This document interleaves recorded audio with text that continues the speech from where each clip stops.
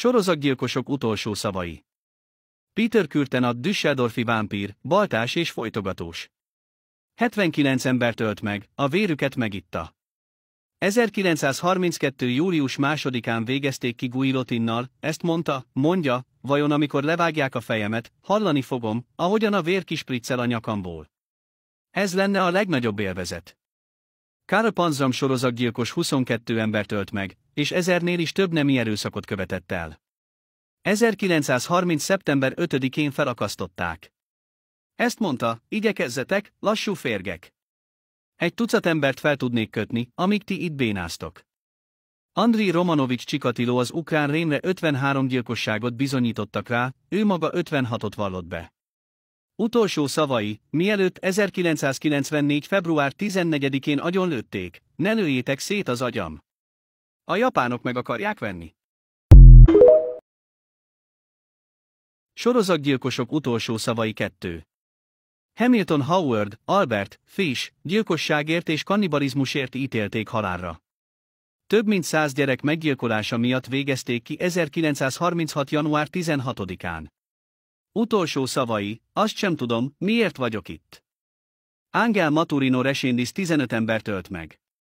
2006. június 27-én végezték ki. Utolsó szavai, azt szeretném, ha a szívetek mélyén megbocsátanátok. Mert muszáj.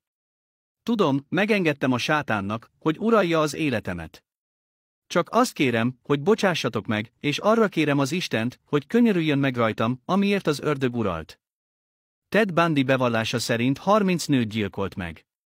1989. január 24-én halára ítélték, villamosségbe ültették. Utolsó szavai, add át szeretetem a családomnak és barátaimnak. Gyilkosok utolsó szavai három. Henry Howard Holmes áldozatait a saját maga által, gyilkolása és a holtestek megsemmisítésére tervezett szállodájában végezte ki, brutális, embertelen módszereket használt 1894. november 17-én kapták el, és végül 96-ban akasztották fel utolsó szavai. Nem kell kapkodni, nehogy elfuseráljátok a dolgot. Timothy McVeigh katona és biztonsági őr volt, aki azért ítélték el, mert 1995-ben bombát robbantott Oklahomában.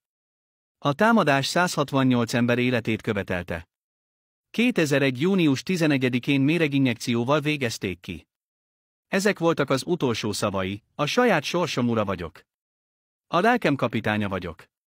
Jimmy Le Glesső megszökött a börtönből, és megölt két embert. 1987. június 12-én, a villamosszékben ülve nemes egyszerűséggel csak ennyit mondott, inkább horgásznék. Köve- Gyilkosok utolsó szavai negyedik. Ömélje Dyer a csecsemő farmer. Az ápolónő évtizedeken keresztül vállalta, hogy gondozásába veszi a nem kívánt gyermekeket. A valóságban azonban körülbelül 300 csecsemőt folytott meg. A horrorápolónőt végül Londonban felakasztották. Utolsó szavai, nincs mit mondanom. Jeffrey Dahmer, a Milwaukee kannibál 17 férfit és fiút erőszakolt és gyilkolt meg az 1980-as években. Halála 1994. november 28-án egy rabétiása agyonverte.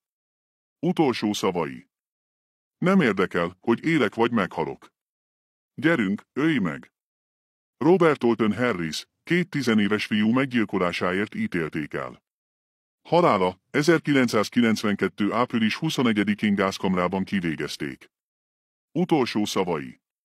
Lehetsz király vagy utcaseprő, de mindenki a kaszással táncol.